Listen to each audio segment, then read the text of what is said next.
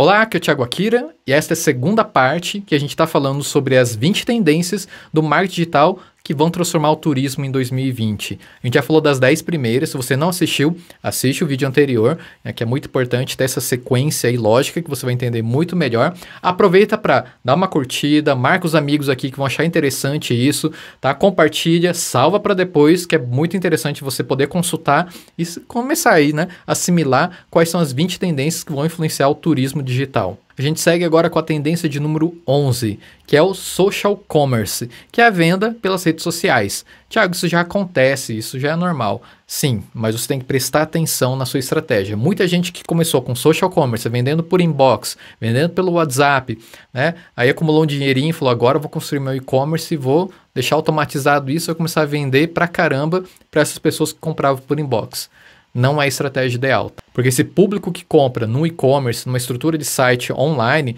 não é o mesmo público que compra de você inbox ou pelo WhatsApp.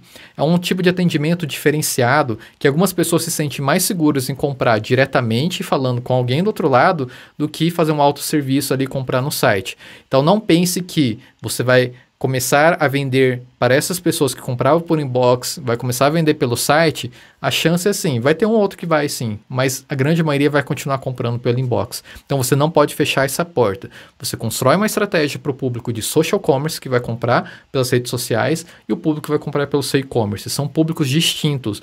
As pessoas que não entenderam isso acharam e quebraram a cara porque acharam que poderiam vender muito mais né, com e-commerce e aí, com o e-commerce, você tem que ter investimento em anúncios, gerar tráfego, né, ter um caminho muito mais longo do que você poderia fazer direto para uma venda direto pelo social commerce. Então, não se frustre, né? Perceba que essa tendência do social commerce, ela vai continuar existindo. E vai ser muito interessante porque hoje o WhatsApp tem para construir a vitrine, né? O inbox hoje, né, do Instagram, você pode mandar links para a pessoa já fechar uma compra por ali. Então hoje tem muitas facilidades que cada vez mais vão aí evoluir para comprar tudo dentro do aplicativo.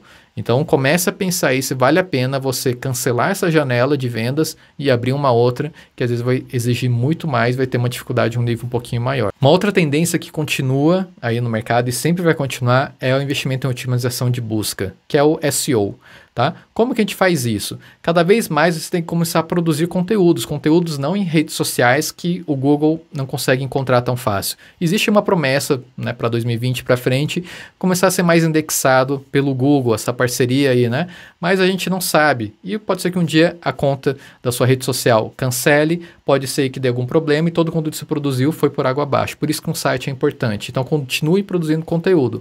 Uma que a encontrabilidade dele né, pelo Google é muito melhor. Vai te entregar aí, vai entregar para os seus turistas, né, para o seu público, conteúdo muito mais de qualidade. E como que você vai produzir isso, vai concorrer? O que você precisa entender é que o seu conteúdo ser encontrado de forma orgânica, sem investir dinheiro, é muito mais interessante que você toda hora ficar injetando dinheiro. Mas você tem que cair na real que nem sempre o seu conteúdo muito bem escrito vai aparecer na primeira página, porque aí existem outras páginas que tem conteúdo que está mais, mais tempo, que tem um acesso muito maior, que tem aí mais, né, mais qualidade em estrutura, em site, que possibilita aí um posicionamento muito melhor. Não é simplesmente escrever bem.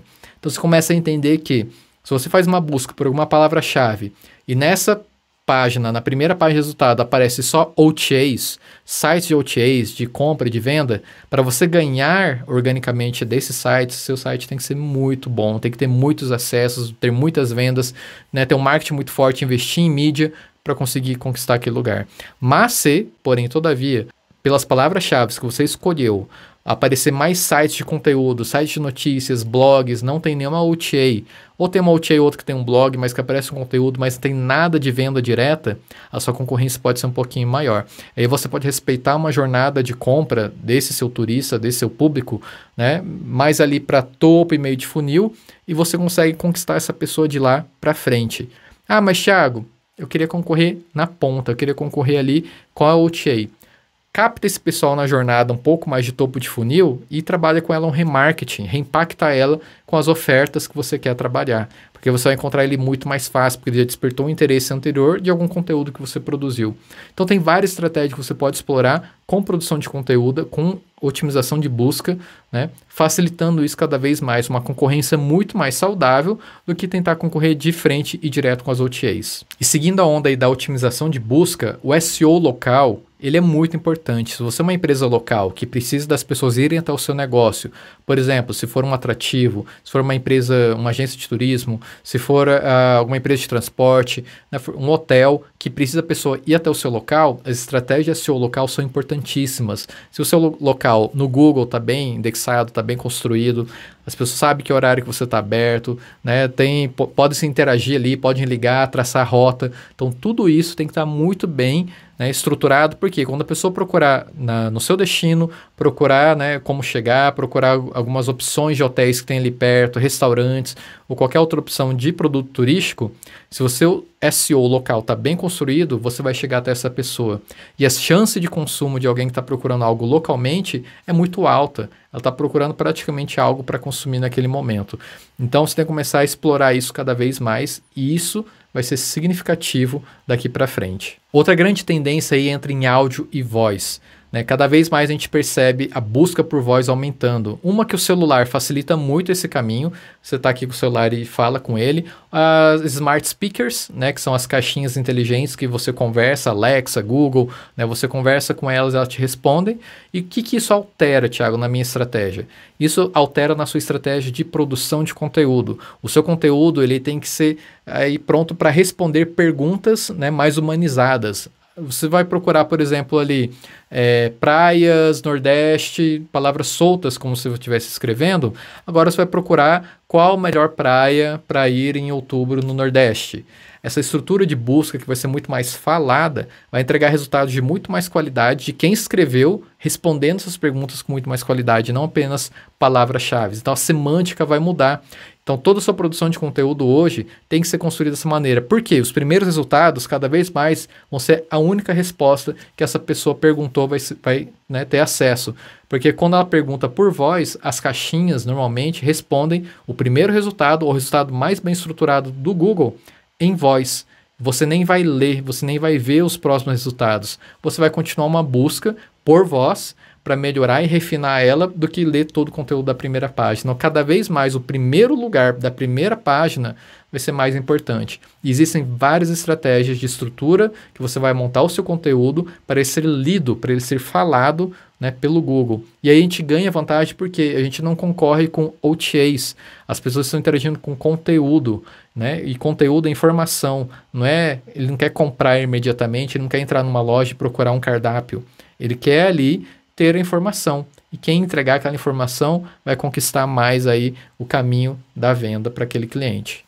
E paralelo a isso que a gente falou ali para trás também, os podcasts. Os podcasts que a gente citou como um item de rede social, né, ou de canal, de formato, hoje ele é muito interessante. Se você quer construir uma relação onde você está presente criar uma frequência, e conteúdo em áudio é muito mais fácil do que em vídeo, muito mais fácil do que achar uma foto incrível, é você sentar, produzir um conteúdo em áudio, né? Aí de 5 minutos a uma hora, 20 minutos, que seja, para a pessoa poder consumir e aquilo transformar ela de alguma maneira, transformar uma ideia, criar aí um novos insights, né? dar novas sugestões para ele para consumo de destinos turísticos. Então isso é bem interessante também, é uma estratégia que pode entrar aí no seu leque ou que você vai começar a perceber uma produção muito maior dentro do nosso mercado. E a gente chega na tendência de número 16, que é uma das que mais fortes aí que a gente tem no mercado, que é a produção de vídeo. Hoje a produção de vídeo, né, não é de hoje, já é de muito tempo atrás, é uma das maiores necessidades hoje que a gente tem no mercado. Hoje, quando alguém procura algum destino turístico ou produto turístico, com certeza ele vai passar por vídeos, ele vai assistir vídeos, ele vai consumir vídeos para tirar dúvidas, para entender, né, seja depoimentos, seja os vídeos institucionais da empresa, seja blogueiros, influenciadores, qualquer outro conteúdo em vídeo vai ajudar ele a formatar melhor, a materializar um serviço turístico. Então você tem que produzir cada vez mais vídeos. E não é vídeo só institucional e comercial que vai na TV e você joga no seu canal do YouTube. É um conteúdo mesmo, conteúdo verdadeiro, explicar, ajudar a pessoa. A pessoa não vai para o seu hotel só para se hospedar, ela vai para consumir coisas próximas, coisas locais, alguns atrativos, o que dá para fazer em um dia, em três dias, em cinco dias, é, qual os tipos de apartamentos que você tem, qual o melhor para o que você está procurando. Né? Seja sincero, transparente, trabalhe conteúdo que vai ajudar a pessoa e ela vai consumir, porque dentro da jornada ela vai passar por vídeos. O YouTube é o segundo maior buscador do mundo. E aí, para lifestyle, para travel, para qualquer mercado desse tipo, né, de, que estimula desejo, ele vai ser consumido. Então, a gente começa a explorar formatos, que é o vertical, né, horizontal, é, os formatos curtos, os vídeos para stories, o, as lives, né, o tempo real, que é muito importante, que é muito interessante. Então, são vários formatos hoje que tem que ser explorado e cada vez mais investido. Não tem como fugir. Tá? A produção de vídeo hoje vai ter aí um consumo de mais de 80% da banda da internet de 2020 vai ser focado em consumos de vídeo. Então, cada vez mais você tem que produzir o vídeo. A 17 tendência é investimento em mídia. Né? A gente comentou um pouquinho levemente ali para cima também, mas agora o que a gente tem aqui para falar? As pessoas vão parar de insistir nessa coisa de que orgânico, orgânico, orgânico. Orgânico é linda, bonita, muito legal porque a gente não gasta dinheiro, é uma grande conquista, mas a gente precisa investir em mídia. E não é simplesmente botar um dinheiro e ali apertar e impulsionar é realmente criar campanhas focadas em públicos, em segmentos, às vezes aquele mesmo conteúdo para vários públicos, né? Ou aquele conteúdo em vários formatos para vários públicos, para vários canais. Então, vai começar a se explorar cada vez mais o investimento em mídia, porque o investimento em mídia traz retorno. E esses testes que foram feitos em 2019 vão refletir em 2020 de uma maneira totalmente positiva, porque tudo que ele errou e acertou vai ser aproveitado para agora. Então, vai investir cada vez mais dinheiro, porque quando você investe e de forma inteligente, você tem um retorno mais inteligente. Então, esse foco em investimento em mídia é algo que hoje todo empreendedor precisa botar o dinheirinho ali, porque você nunca vai fazer aí um material seu offline gráfico sem pagar criação de arte, sem pagar impressão, sem pagar distribuição e vai saber se vai ter algum resultado em cima disso. Se você sempre fez isso, por que não vai fazer agora na internet, que é muito mais barato, muito mais assertivo e tem muito mais qualidade e é escalonável. Então, quanto mais dinheiro você põe, mais você pode multiplicar os seus resultados. E a tendência número 18 mostra que não adianta só você injetar dinheiro na mídia. Para você ter likes, para você ter visualização, você tem que ter vendas. E para isso tem que gerar tráfego. Então, a próxima tendência é tráfego. Para onde você está gerando acesso. A página que você está levando está captando leads, está convertendo vendas, está né, gerando uh, fortalecimento da sua marca. As estratégias estão bem alinhadas para você ter resultado com isso, então o tráfego é importante. A sua página recebe muito bem esse usuário, ele vai ficar confuso ali dentro, não vai achar o que ele está procurando. Você vai construir landing pages onde a pessoa cai, ela pode baixar um material, ou pode entrar em contato direto com você, pode já fazer uma compra. A qualidade dessa landing page, ela é boa para celular, do seu site é boa para celular, então você tem que ter essa preocupação para onde você está gerando tráfego. E esse ano, cada vez mais, a gente vai ver páginas mais estratégicas de vendas, páginas de conversão, páginas que têm uma função real nos objetivos aí da empresa no marketing digital. Então, o foco em tráfego é cada vez mais importante. Investir em qualidade de tráfego. E a penúltima tendência é um olhar mais estratégico para as métricas. Vocês vão começar a olhar agora os resultados, porque está investindo em mídia, está investindo em produção de conteúdo de qualidade, está investindo em produção de vídeo, e você tem que começar a ver o que dá resultado e o que não dá. Aquilo que dá resultado você potencializa com investimento em mídia, aquilo que não dá você tira né, da, da sua estratégia e não coloca mais, ou tenta novamente em outro momento. Mas a sua análise das métricas, dos KPIs, né, dos indicadores aí de performance, de resultado, que está dando certo, que está dando errado, você vai estar tá muito mais maduro com isso. Você vai perceber que as métricas são fatores essenciais na sua estratégia. Se você fazer investimento em mídia, produzir conteúdo sem acompanhar os resultados disso, sem entender se isso foi um bom resultado ou um péssimo resultado, você jogou dinheiro fora. Então as métricas hoje vão sinalizar para você que caminho você vai seguir e como você vai escalonar e ter mais resultados daqui para frente. Porque sem entender os números, você está gastando e rasgando dinheiro. E a última grande tendência é marketing e vendas juntos. Tá? Isso é mais do que certo, não é nada de tendência, isso é algo que já deveria acontecer, mas cada vez mais a gente está vendo que as equipes de vendas e de marketing estão se aproximando, porque a gente precisa cada vez mais de dados mercadológicos né, para entender o que acontece, o comportamento, o resultado das ações de marketing estão tendo, que o pessoal da ponta tem que devolver para a equipe e a equipe tem que desenvolver isso, melhorar e trabalhar junto com a equipe de vendas, tá? Ah, mas Thiago, eu não tenho isso. Quem faz marketing vendas é uma pessoa só ou uma estrutura muito enxuta. Não tem problema, tem que ter essa comunicação muito bem amarrada. Se não tiver bem amarrada, vai ser muito achismo, vai ser muito erro, essa tentativa e erro vai ficar muito prolongada e cada vez mais você vai gastar dinheiro. Então, marketing e vendas tem que entrar sempre no mesmo caminho, sempre juntos. Então, sua estratégia de inbound marketing, que você já deve ter ouvido falar bastante, que eu falo muito aqui também, é estratégia de marketing conteúdo, que vai conduzir a pessoa para uma jornada, para um funil, que vai chegar cada vez mais próximo da venda. Só vai entender isso muito bem quem estiver bem atrelado estratégia de marketing e vendas, o que, que atrai a pessoa. Equipe de vendas, o que, que vendeu mais, o que, de onde essa pessoa veio, o que essa pessoa teve mais dúvida que você respondeu e converteu em venda. Né? Você entender isso, você só vai entender se a equipe de vendas estiver próximo da equipe de marketing. Então, a gente começa a entender que tudo isso que eu falei, das 20 tendências, se muito bem estruturadas, muito bem organizadas, você vai começar a ter resultado. E não é nada de grandes empresas, são pequenas empresas aí que conseguem ter um bom resultado estruturando muito bem isso daí.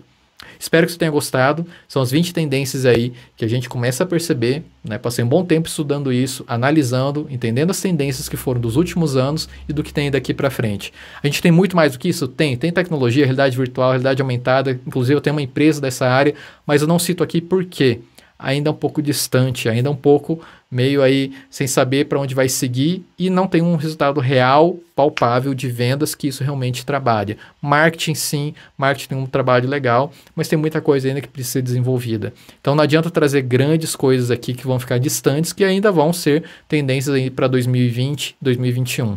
Mas que eu acho que aqui a gente trabalhou o básico e eu espero que você tenha gostado, tenha ajudado. Guarde isso, salve, compartilhe, né? Guarde as sete chaves, porque vai ser importante para colocar junto com a sua empresa, junto com as suas agências que trabalham e atendem você, para discutir e chegar numa estratégia muito legal para 2020. Então ainda dá tempo, vamos desenvolver essas ações e para o que precisarem, meus cursos, minha consultoria, é só contar comigo. Um grande abraço e até o próximo vídeo.